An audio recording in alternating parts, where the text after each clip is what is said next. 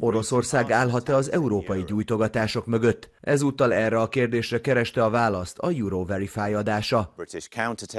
A brit terrorelhárítási csoport azt vizsgálja, hogy orosz kémek tették-e a gyújtószerkezetet arra a repülőgépre, amely júliusban lángra kapott egy Birminghami hangárban.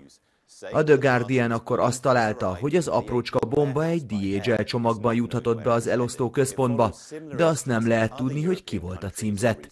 Egy másik gyanús DHL csomag nem sokkal korábban gyulladt ki Lipcsében. A nyomozók most azt vizsgálják, hogy van-e kapcsolat a két eset között. Az ügy komoly, ugyanis a kargórepülők akár le is zuhanhattak volna, ha útközben lépnek működésbe a robbanó szerkezetek. Az Egyesült Királyság elhivatott támogatója Ukrajnának, és így Putyin elnök ellenségévé vált. A jövőben idehaza is számíthatunk támadásokra. Az orosz titkos szolgálat mindent meg fog tenni, hogy káoszt idézen elő a brit utcákon.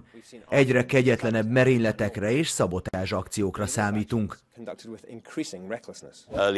Évelején a lengyel hatóságok kilenc embert tartóztattak le, akik a vád szerint Moszkva megbízásából készültek gyújtogatásokra Vroszlávban.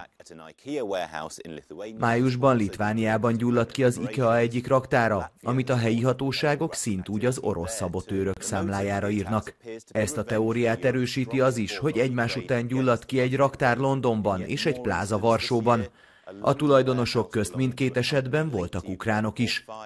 Sőt, a német hatóságoknak egy merénylet kísérletet is sikerült megakadályozniuk Armin Papperger, a Rheinmetall fegyvergyártó vezérigazgatója ellen.